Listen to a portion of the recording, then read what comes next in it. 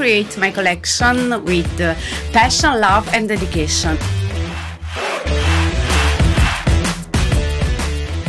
Basically, a Ashar is chromatic, simple, and authentic.